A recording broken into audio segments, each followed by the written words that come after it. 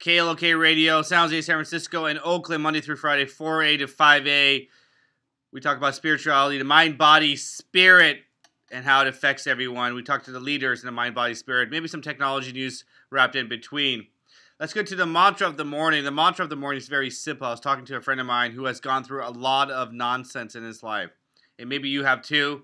A lot of drama, a lot of adversity he has overcome. He uh, has gone from foster family to foster family to foster family. He's now a proud father and a proud husband. But yet, that fear is still with him.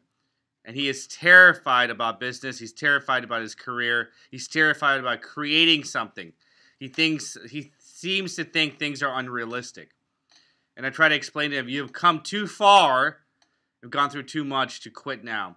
And that is the mantra of the morning. If you think that you can't do something in your life, if you think something's impossible, look back at your life and realize that you have done the impossible. You have gone through a lot of drama. You have gone through a lot of nonsense.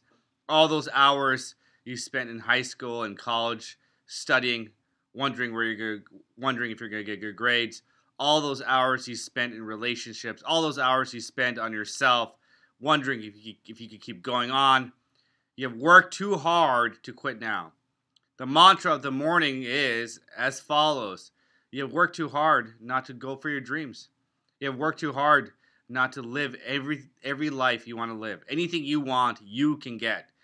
Nothing is impossible. Nothing's even improbable. I believe that anything you want is achievable. It has been achieved before by others, and it can definitely be achieved by yourself. So don't quit and don't look at roadblocks when there are no roadblocks. It's amazing, my friend, foster home after foster home, tough life, but yet he's scared to maybe create a video or do a show or create a company. That's for him is terrifying, but it shouldn't be. You have gone through too much, you've worked too hard in your life and gone through too much nonsense, and you really have done a good job to quit now. Keep going, and remember, pat yourself on the back. You're doing a great job, and keep, you know, throwing down those walls, breaking down those barriers. You must understand, or I'll say this one more time, that you have gone through too much drama, too much nonsense. You've worked too hard to not live all your dreams. Mantra of the morning here on Urban Turban Show on Desi 1170 a.m. I'll see you guys soon for the tech news, the digital media news, the app of the day here on KLOK Radio.